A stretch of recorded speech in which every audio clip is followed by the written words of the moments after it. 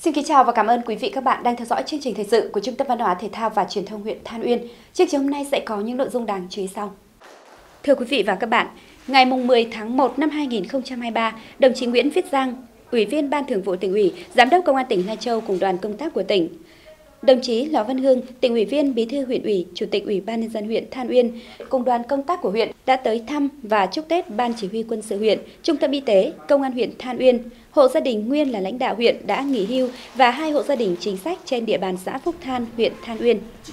Tại các đơn vị đến thăm và chúc Tết, đồng chí Nguyễn Viết Giang, Ủy viên Ban Thường vụ tỉnh ủy, Giám đốc Công an tỉnh Lai Châu đề nghị các lực lượng vũ trang trên địa bàn huyện chủ động tham mưu cho cấp ủy chính quyền, lãnh đạo chỉ đạo, đồng thời chủ động triển khai các phương án nghiệp vụ, nắm chắc tình hình, phân tích tình hình, từ đó chủ động các biện pháp phòng ngừa, đấu tranh, ngăn chặn, xử lý kịp thời các vụ việc ở cơ sở không để xảy ra đột xuất, bất ngờ, ngăn chặn và kiềm chế hoạt động của các loại tội phạm, tệ nạn xã hội, đảm bảo tốt an ninh chính trị, trật tự an toàn xã hội, đảm bảo tuyệt đối an toàn về an ninh trật tự cho nhân dân vui xuân đón Tết vui vẻ, phấn khởi.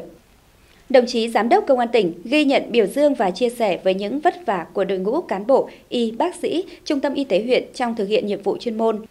Đồng chí tin tưởng bằng tình yêu thương, coi người bệnh như chính người thân của mình, các y bác sĩ, nhân viên của trung tâm sẽ hoàn thành tốt nhiệm vụ được giao. Tết Nguyên đán Quý Mão năm 2023 sắp đến, đồng chí đề nghị Trung tâm Y tế huyện có sự chuẩn bị chu đáo để những bệnh nhân ở lại điều trị được đón Tết đầm ấm đầy đủ và sung vầy. Chúc tập thể cán bộ, y bác sĩ và nhân viên, các bệnh nhân đang điều trị đón Tết cổ truyền nhiều niềm vui. Nhân dịp chuẩn bị đón Tết Nguyên đán Quý Mão năm 2023, đồng chí Giám đốc Công an tỉnh đã gửi lời chúc mừng năm mới và trao quà của tỉnh ủy, Hội đồng Nhân dân, Ủy ban Nhân dân, Ủy ban Mặt trận Tổ quốc Việt Nam tỉnh cho các đơn vị. Đoàn công tác đã đến thăm hộ gia đình ông Hoàng Văn Bòng, nguyên bí thư huyện ủy, huyện Than Uyên đã nghỉ hưu. Đồng chí Giám đốc Công an tỉnh đã ân cần hỏi thăm và chúc mừng năm mới Quý Mão 2023 đến toàn thể gia đình đồng thời mong muốn luôn phát huy truyền thống cách mạng của gia đình và bản thân, thực hiện tốt chủ trương, đường lối của Đảng, chính sách pháp luật của nhà nước, nhất là những ý kiến tâm huyết để góp phần cung cấp ủy chính quyền địa phương xây dựng quê hương thêm giàu đẹp phát triển. Đến thăm và chúc Tết hai hộ gia đình ông Lò Văn Thủy, thương binh, em liệt sĩ Lò Văn Hải, gia đình ông Hà Văn Bình, con của liệt sĩ Hà Văn Lả tại bản Sang Ngà, xã Phúc Than. Đồng chí Nguyễn Viết Giang, Ủy viên Ban Thường vụ tỉnh ủy, Giám đốc Công an tỉnh Lai Châu đã ân cần hỏi thăm, động viên, tặng quà và chúc Tết các gia đình và bày tỏ sự tri ân sâu sắc đối với đóng góp to lớn của các gia đình trong sự nghiệp đấu tranh giành độc lập dân tộc mong muốn các gia đình tiếp tục phát huy truyền thống của quê hương anh hùng, thi đua lao động sản xuất, nâng cao đời sống cho gia đình đồng thời đề nghị chính quyền địa phương cần tiếp tục quan tâm hơn nữa đến các gia đình chính sách, người có công với cách mạng, hộ nghèo, hộ cận nghèo, hộ có hoàn cảnh khó khăn trên địa bàn, để mọi nhà, mọi người được đón Tết vui xuân thật sự ấm no hạnh phúc. Thưa quý vị, sáng ngày 12 tháng 1 năm 2023, đồng chí Lò Văn Hương, tỉnh ủy viên Bí thư huyện ủy, Chủ tịch Ủy ban nhân dân huyện cùng đoàn công tác của huyện đến thăm trao quà Tết cho các gia đình thương binh liệt sĩ, người có công với cách mạng trên địa bàn thị trấn Than Uyên và xã Mường Mít. Trong dịp này, đoàn đã đến thăm hỏi động viên và trao quà của Chủ tịch nước, của tỉnh, của huyện cho gia đình ông Trần Văn Lã, bệnh binh 61%, ông Nguyễn Đức Nhuận, thương binh 23% ở khu 2 thị trấn Than Uyên, gia đình ông Vàng Văn Tức, thương binh 31%, ông Lò Văn Pò, thương binh 25% ở bản Vè, xã Mường Mít. Tại các gia đình đến thăm, đồng chí Bí thư huyện ủy, Chủ tịch Ủy ban nhân dân huyện đã ân cần hỏi thăm sức khỏe, tình hình kinh tế của gia đình đồng thời bày tỏ sự tri ân trước những công lao cống hiến và sự cố gắng vươn lên trong cuộc sống, cùng những đóng góp cho sự nghiệp xây dựng và bảo vệ quê hương đất nước. Trước thềm năm mới, đồng chí chúc các gia đình đón Tết cổ truyền Quý Mão 2023 thật sự an toàn và tràn ngập niềm vui hạnh phúc. Đại diện các gia đình đã bày tỏ lòng cảm ơn sâu sắc trước sự quan tâm của Đảng và Nhà nước đối với các gia đình chính sách, thương bệnh binh và xin hứa sẽ cùng gia đình thực hiện tốt các chủ trương đường lối của Đảng, chính sách pháp luật của nhà nước, bảo ban con cháu tập trung phát triển kinh tế, nâng cao chất lượng cuộc sống của gia đình. Thưa quý vị và các bạn, ngày 11 tháng 1, Ủy ban nhân dân huyện Than Uyên tổ chức buổi gặp mặt quân nhân xuất ngũ trở về địa phương. Tới dự có đồng chí Lò Văn Hương, tỉnh ủy viên, bí thư huyện ủy, chủ tịch hội đồng nhân dân huyện, đại biểu các ban ngành đoàn thể của huyện. Sau 2 năm thực hiện trách nhiệm cao cả của người công dân là lên đường thực hiện nghĩa vụ quân sự bảo vệ Tổ quốc, 105 đồng chí đã phát huy truyền thống cách mạng của quê hương Than Uyên anh hùng, hoàn thành xuất sắc nhiệm vụ được giao, góp phần bảo vệ vững chắc Tổ quốc Việt Nam xã hội chủ nghĩa. Trong môi trường quân đội nhân dân và công an nhân dân, các đồng chí đã được rèn luyện và trưởng thành cả về trí tuệ và thể chất, góp phần xây dựng quân đội nhân dân, công an nhân dân cách mạng chính quy, tinh nhuệ, từng bước hiện đại, đáp ứng yêu cầu nhiệm vụ trong tình hình mới.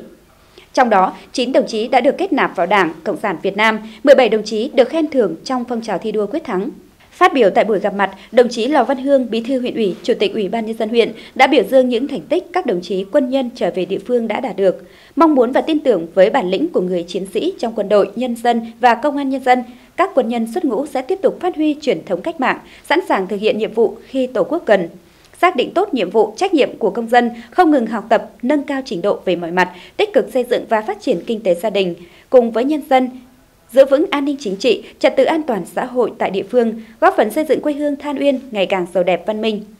Nhân dịp này, Ủy ban nhân dân huyện đã tặng 105 xuất quà để các đồng chí quân nhân xuất ngũ vui xuân đón Tết Nguyên đán tại địa phương.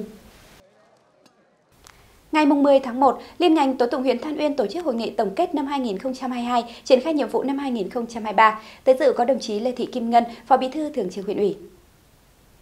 Năm 2022, các cơ quan tố tụng huyện Than Uyên đã thực hiện tốt công tác tham mưu cho cấp ủy chính quyền địa phương trong chỉ đạo thực hiện nhiệm vụ công tác đấu tranh, phòng chống tội phạm, nâng cao hiệu quả công tác phối hợp, đảm bảo xử lý các vụ việc theo quy định của pháp luật, giữ vững ổn định tình hình an ninh trật tự trên địa bàn.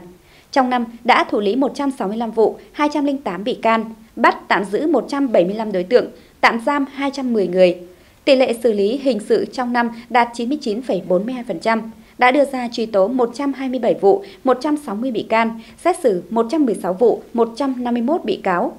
Tỷ lệ thi hành án đạt trên 90%. Việc xét xử đảm bảo đúng người, đúng tội, đúng pháp luật, không oan sai, không bỏ lọt tội phạm.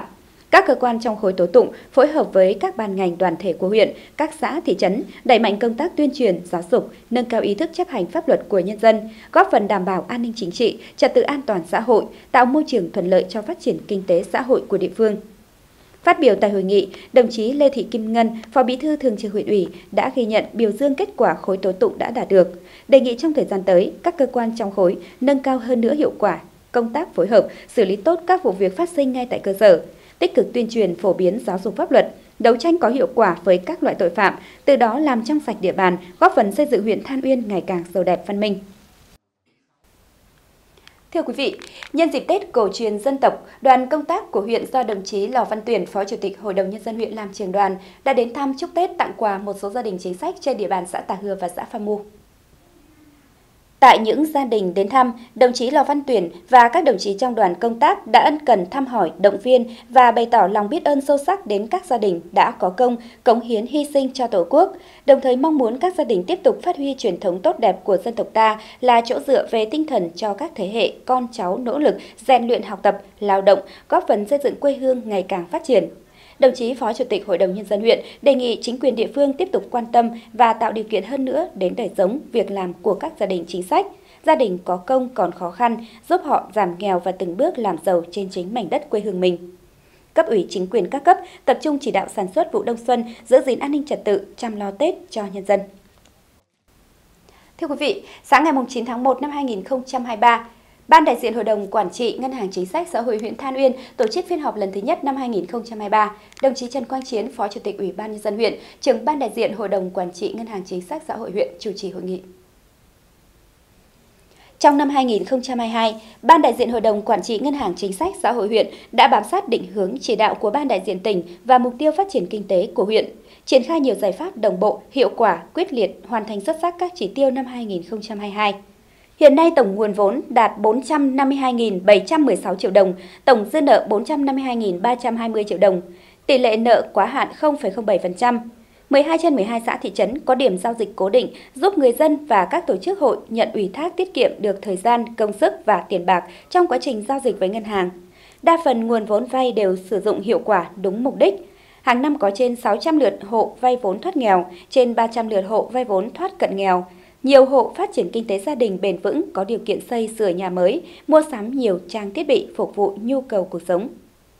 Phát biểu tại hội nghị, đồng chí Trần Quang Chiến, Phó Chủ tịch Ủy ban nhân dân huyện, trưởng ban đại diện Hội đồng Quản trị Ngân hàng Chính sách Xã hội huyện đã biểu dương ghi nhận những kết quả của ban đại diện Hội đồng Quản trị đã đạt được. Đồng chí đề nghị năm 2023, các thành viên của ban đại diện Ngân hàng Chính sách Xã hội huyện tăng cường công tác kiểm tra, giám sát, hướng dẫn cơ sở, các xã thị trấn đẩy mạnh công tác tuyên truyền về các cơ chế chính sách tín dụng để người dân tiếp cận nguồn vốn một cách nhanh nhất, thủ tục đơn giản nhất, quan tâm chỉ đạo sát sao việc cho vay và sử dụng vốn vay đúng mục đích, đẩy mạnh tuyên truyền công tác huy động tiền gửi qua tổ chức cá nhân trên địa bàn nhằm tạo nguồn vốn vay cho hộ nghèo và các đối tượng chính sách khác, nâng cao chất lượng tín dụng chính sách. Quý vị và các bạn thân mến, sáng ngày 11 tháng 1 năm 2023, Đảng bộ Trung tâm Y tế huyện tổ chức hội nghị tổng kết công tác Đảng năm 2022, triển khai nhiệm vụ trọng tâm năm 2023. Dự hội nghị có đồng chí Trần Quang Chiến, Phó Chủ tịch Ủy ban nhân dân huyện. Năm 2022, Đảng bộ Trung tâm Y tế luôn phát huy tinh thần đoàn kết, vượt qua khó khăn, thực hiện có hiệu quả nhiệm vụ được giao. Lãnh đạo thực hiện tốt công tác giáo dục chính trị tư tưởng, giáo dục y đức, quy tắc ứng xử cho cán bộ, viên chức gắn với học tập và làm theo tư tưởng đạo đức phong cách Hồ Chí Minh, tích cực đấu tranh phòng chống tham nhũng lãng phí, tăng cường cải cách thủ tục hành chính, chú trọng thực hiện cải tiến tiêu chí chất lượng bệnh viện đạt 3,15 điểm, tăng 0,03 điểm so với năm 2021 xây dựng bệnh viện an toàn phòng chống Covid ước đạt 84,0%, xếp loại an toàn. Xây dựng bệnh viện xanh sạch đẹp đạt 82,0 điểm. Đánh giá sự hài lòng của người bệnh đạt 95%. Công tác y tế dự phòng ước đạt 91,4 điểm, xếp loại tốt. Các chương trình y tế được triển khai thực hiện đồng bộ, đạt và vượt chỉ tiêu giao. 12 trên 12 xã thị trấn duy trì tốt tiêu chí quốc gia về y tế xã. Năng lực lãnh đạo, sức chiến đấu của các tổ chức đảng được nâng lên. Năm 2022, Đảng bộ hoàn thành tốt nhiệm vụ được giao, tập thể trung tâm y tế và các đoàn thể đều được xếp loại hoàn thành xuất sắc nhiệm vụ.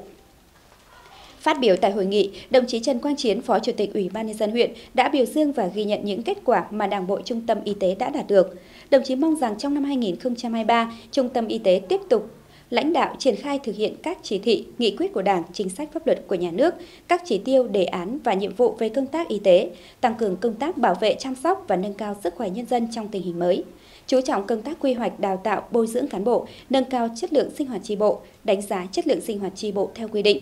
nâng cao hiệu quả công tác kiểm tra giám sát của Đảng, ngăn ngừa, đẩy lùi tiêu cực, tăng cường đoàn kết thống nhất, xây dựng Đảng bộ ngày càng trong sạch vững mạnh.